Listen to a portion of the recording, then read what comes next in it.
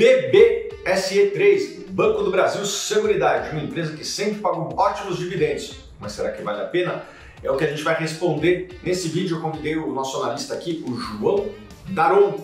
Ele mesmo vai responder muitas das suas dúvidas a respeito desta empresa. Mas antes, não deixe de conferir o material gratuito que eu deixei aqui na descrição, tá bom? Além disso, se inscreva no canal. Agora vamos para o vídeo. Olá, investidores! Bem-vindos a mais um vídeo. E nesse vídeo a gente vai conversar tudo sobre BB Seguridade, uma das ações que vocês mais têm pedido, mais têm comentado, uma das ações que tem sofrido muito nesses últimos dois anos, tá? Mas antes de começar a comentar tudo sobre a empresa, é a primeira vez que vê algum vídeo, se inscreve no canal, Assim você vai ficar por dentro das principais atualizações, dos principais vídeos, das principais empresas da bolsa, não só sobre renda variável, mas também sobre renda fixa. A gente tem muito conteúdo para você investidor. Deixe nos comentários qualquer feedback que você tenha, o que, que você acha que está faltando nesses vídeos, o que, que você acha que poderia melhorar. Deixa o feedback nos comentários, a gente lê todos os comentários e sempre tenta melhorar, sempre tenta trazer aquilo que vocês pedem, tá bem? Vou começar falando um pouquinho sobre a história dela. Tá? A história da BB Seguridade basicamente inicia muito mais recente do que isso, mas ela inicia embrionariamente dentro do BB em 1981, quando o BB ele começa a operar seguros. Tá? Em 1987 se cria a BB Corretora, alguns anos depois se criou a BB Prev, e assim foi sucessivamente criando cada uma das áreas de negócio. Aproximadamente em 2008 até 2011, se começou uma reestruturação societária, onde se colocou todos esses braços dentro de uma outra empresa, a BB Seguridade, tá? que foi criada em 2012, depois de toda essa reestruturação é, societária, e aí um ano depois ela fez seu IPO, e aí tem várias coisas interessantes para a BB Seguridade, que talvez muitos de vocês não sabiam, que ela adquiriu participação societária no IRB, criou a Brasil Dental junto com a Odontoprev. É, o que aconteceu basicamente foi que em 2013 ela abriu sua IPO, foi listada na bolsa, tá?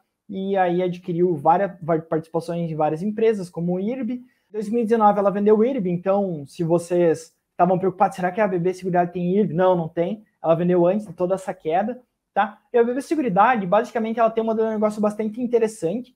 Ela participa dos segmentos de seguro, previdência, capitalização e planos odontológicos. Depois eu vou comentar um pouquinho sobre cada um deles, mas só para vocês saberem. E muita gente pergunta, muita gente questiona, João, é um risco a questão da BB Seguridade ter o um controle estatal? É um risco, mas é um risco diferente, tá? Ela é diferente de qualquer estatal que vocês vão conhecer. Por quê?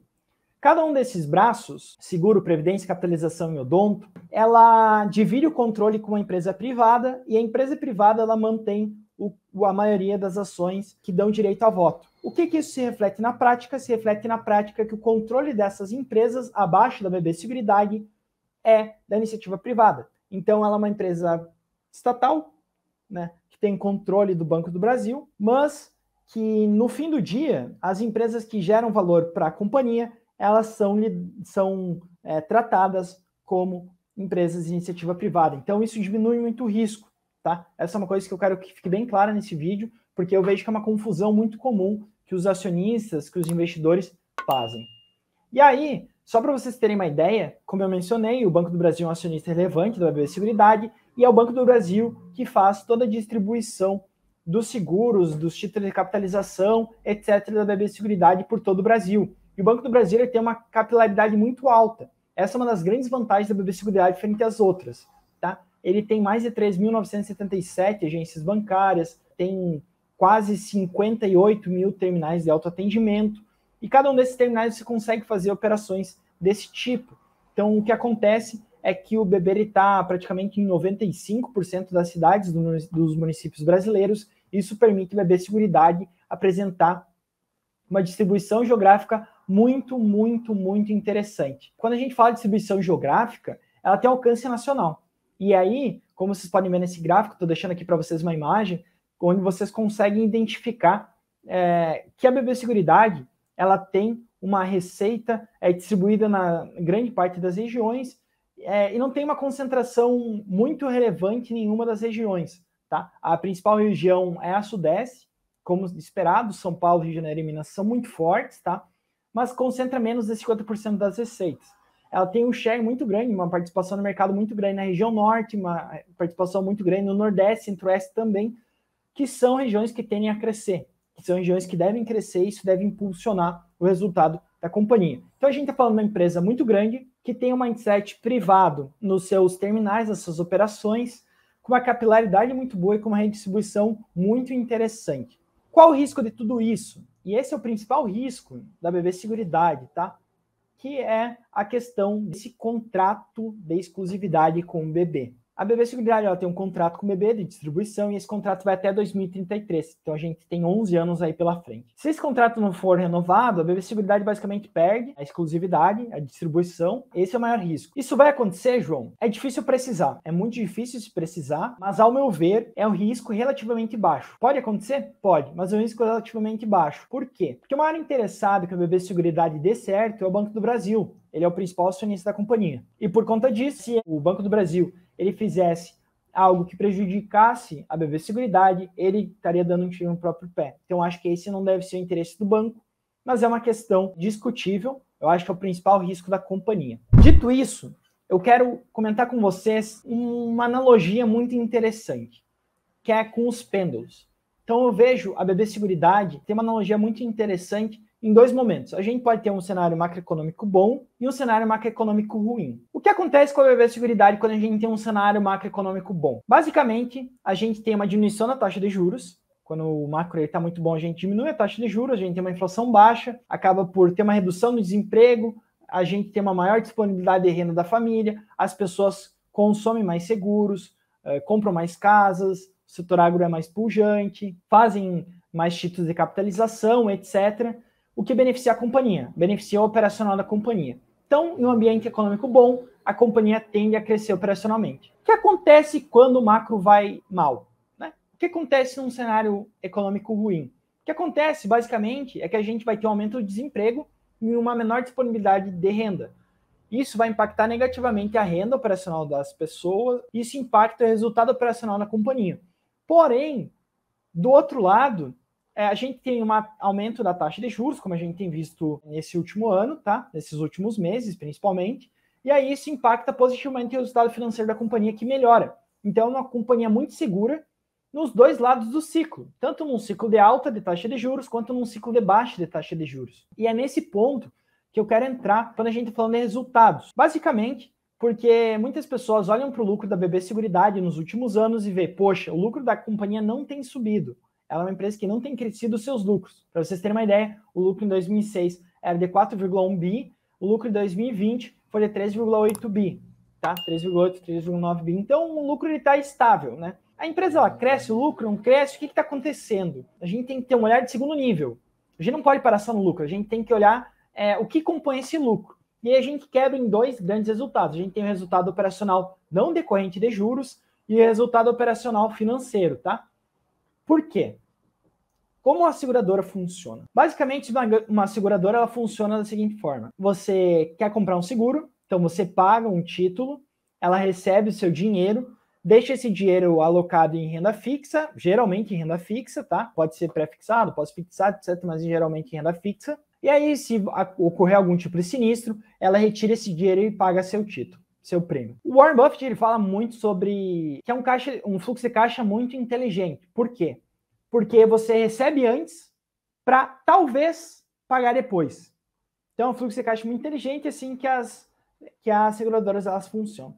Nos últimos cinco anos, a gente viu uma queda na taxa de juros. Então, quando a gente olha o resultado financeiro da companhia, a gente vê uma queda nesse resultado financeiro. Para vocês terem uma ideia, a companhia gerava mais ou menos 1,3 bi resultado financeiro em 2016. Em 2020, ela gerou 100 milhões, 115 milhões, tá? Então tem uma queda aí de quase 40% ao ano. Porém, quando a gente pega o resultado operacional da companhia, ele saiu de 4,7 bi, 4,8 bi para 5,6. Então o resultado operacional tem crescido, mais ou menos no 4% ao ano, e o resultado financeiro tem decrescido.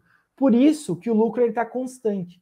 À medida que essa taxa de juros volte a subir, e é o que a gente tem observado, esse, esse lucro ele tende a crescer, tá? Então, é por isso que o lucro não cresce, mas a tendência é que ele deva voltar a, a ficar positivo, apresentar um crescimento positivo, tá? um delta positivo nesse nesses últimos tempos. E aí a BB Seguridade ela tem um amplo leque de atuação. Ela começa pela Brasil Seg, que é basicamente feito para pessoas físicas que procuram uma proteção financeira para dar para os seus usuários, para os seus familiares, entes queridos, etc., algum tipo de seguro na casa, no caso de uma morte ou invalidez. Eu acho que esse é o seguro mais comum que vocês conhecem. É um mercado bastante grande, é um mercado tem um mercado endereçável de 12,2 bilhões e ela possui aproximadamente 13% do share. Um segundo segmento que está crescendo muito dentro da Brasil Seg é do prestamista, tá? O que, que é isso? Basicamente é um seguro de vida em que se o beneficiário ele morre, esse beneficiário ele tinha algum tipo de dívida,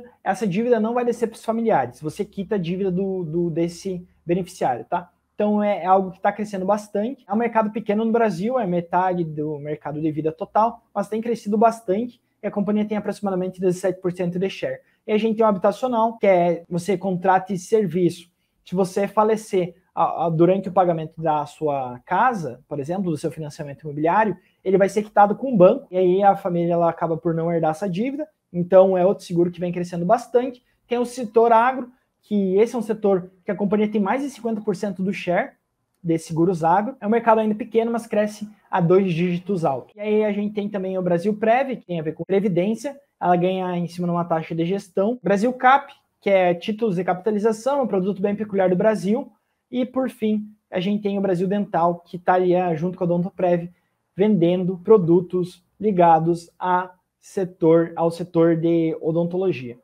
E aí, tudo isso é vendido pelo BB Corretora, que é de onde vem o dinheiro da BB Seguridade, grande parte do dinheiro vem daí, tá? Da BB Corretora. Ela ganha toda a corretagem por detrás desses seguros vendidos e ela utiliza toda a infraestrutura, funcionários, etc., do Banco do Brasil o que faz com que a BB Seguridade ela seja muito forte, tá? Ela consiga distribuir esses produtos muito bem, ter um market share muito elevado em, uma, em, um, em um mercado que cresce. Então, ela é uma empresa bastante segura, é, ao meu ver, é uma das empresas mais seguras da bolsa por conta desses dois ciclos que eu falei. No momento bom, ela se dá bem porque o operacional cresce, o financeiro cai. No momento ruim, o, o financeiro cresce, o operacional cai. Então, se compensa. Nesses dois últimos anos, a gente viu muito caso de Covid aumentar e existe uma correlação direta entre número de óbitos de Covid e a sinistralidade. Então, a gente viu uma alta na sinistralidade, isso impacta o resultado da companhia a cotação vem sofrendo. Além disso, existe um descompasso entre GPM e PCA. O IGPM ele reajusta os passivos, o GPA estava reajustando os ativos. Como teve um descompasso, os passivos eles reajustaram mais do que os ativos, e aí a cotação da companhia sofreu muito, tá? Mas é algo pontual, ao meu ver, é algo de curto prazo, não deve afetar a solidez financeira da companhia no longo prazo. E por fim, vamos dar uma olhadinha nessa questão do valuation, que valuation importa, importa bastante. Eu queria conversar com vocês um pouco sobre valuation, e aí, é, só para vocês terem uma ideia, a BB Seguridade é negocia abaixo da média do setor, quando a gente pega o PL, tá? O PL dela tá próximo de 10 vezes. Depois a gente vai ver se isso é muito, é pouco, olhando o histórico, mas ela tá abaixo do setor. E aí, um outro indicador que talvez vocês possam olhar bastante é o P sobre VP, que ele pode parecer estar muito alto, mas existe uma explicação para isso. O P sobre VP está em cinco vezes porque o ROI dela é muito alto. O ROI dela é quatro vezes maior do que do setor, e aí, por conta disso, o P sobre VP, como o valor patrimonial dela, ela consegue rentabilizar muito, ela acaba por operar com um prêmio do, no P sobre VP. Tá? Então não é preocupante, é, o, P, o PL dela, quanto menor, melhor, está em 10 vezes. E quando a gente olha o histórico disso, a gente vê que em nenhum ano a companhia operou com PL tão baixo. Tá? Só para vocês terem uma ideia, a média do PL dela é cerca de 13 a 14 vezes. Então ela está no mínimo histórico desse múltiplo. Pode parecer uma oportunidade, é uma empresa muito sólida, muito segura, mas tem esse grande risco da questão do, do contrato com o bebê. Se ele não for renovado, a companhia deve ter perdas relevantes, deve ser bastante impactada é, negativamente por conta disso, tá? Então era isso que eu queria trazer para vocês sobre o bebê seguridade. Mais uma vez, se é a primeira vez que você vê um vídeo aqui no canal, se inscreve no canal, Assim você não vai perder nenhum outro vídeo. Deixa um like nesse vídeo se ele te ajudou de alguma forma. E por fim, deixa nos comentários qualquer feedback que você tenha. A gente tá lendo todos os feedbacks e tentando melhorar para vocês, tá? Trazendo conteúdo que mais faça sentido para vocês investidores. Mais uma vez, um forte abraço a todos e até a próxima. Muito obrigado, João. Acho que todas as dúvidas das pessoas foram devidamente esclarecidas. E se você tem ações da BB Seguridade, eu quero saber. Deixa aqui no comentário e me responde. Você tem ações da BB Seguridade? Compraria? Não compraria? Por quê? Se inscreve no canal e a gente se vê nos próximos vídeos.